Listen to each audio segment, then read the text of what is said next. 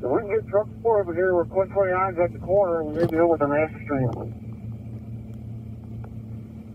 I'm okay with that, but make sure you have eyes on all crews up there. I'm sending a few crews up.